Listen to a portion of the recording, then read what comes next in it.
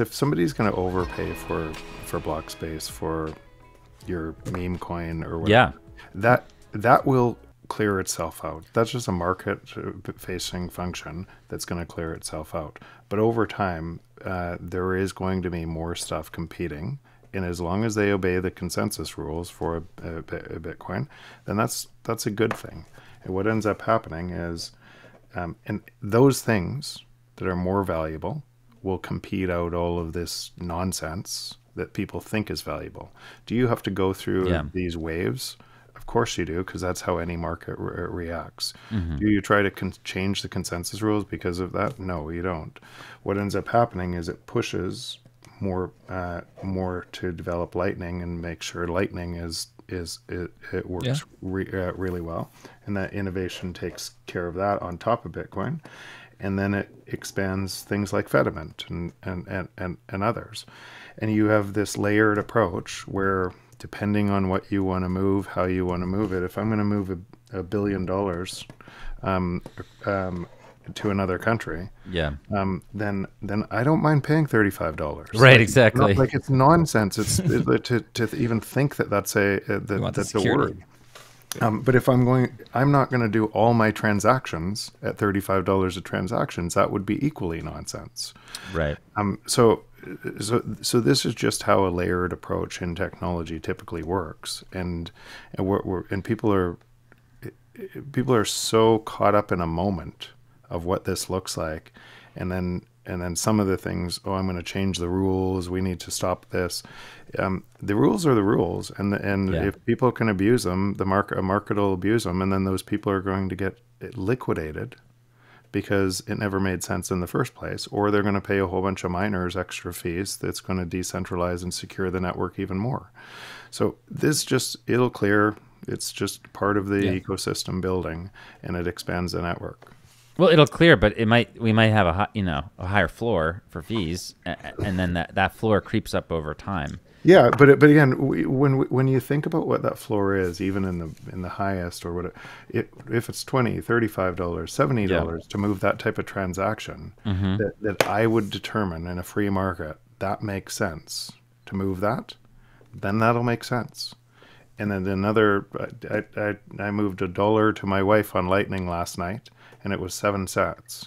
Right. right. Didn't Yeah, change I- the- so so I can move, I can move a hundred dollars, two hundred dollars, ten thousand dollars on the same thing, um, and it's uh, I just many people don't know yet they were using the main chain because they didn't really they weren't didn't need to use lightning. Yeah, they didn't- of people people building to lightning were expecting low fees forever so they hadn't built the redundancy and what that fee market would look like. And so that in the immediate short term it breaks things.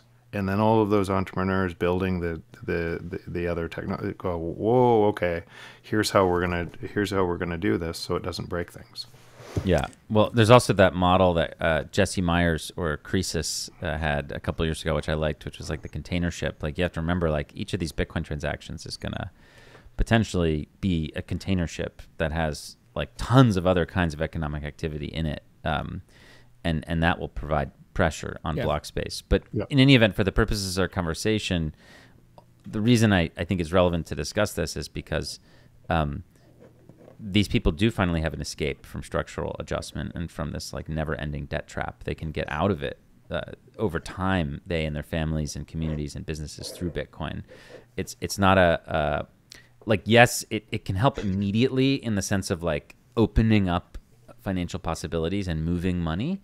Um, but as far as wealth building and purchasing power appreciation, that's a that's going to take. Yeah. We're talking about years and decades, but it is going to happen. It's a trend. We're moving in that direction.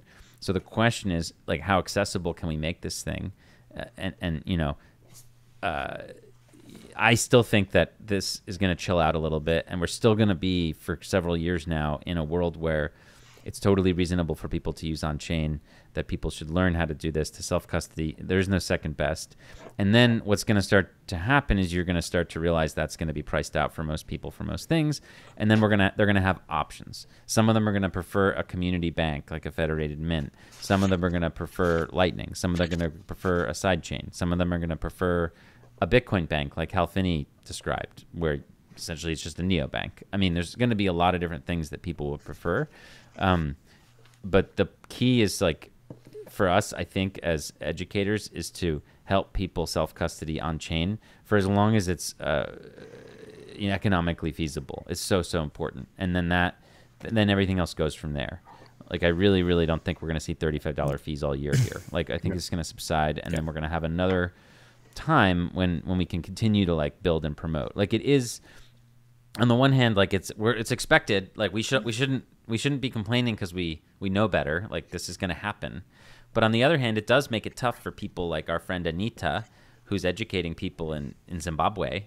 Like, it's what does she do? It's hard for her right now. Okay, so like sending a transaction is prohibitive, basically, on the main chain, and opening a Lightning channel if you don't have it already is prohibitive. So it forces people into custodial solutions. It is a big, uh, let's say, adoption dilemma. So the the better tools we have, like that can help people address this, uh, I sure. think that's absolutely worth investing our time and energy right now in.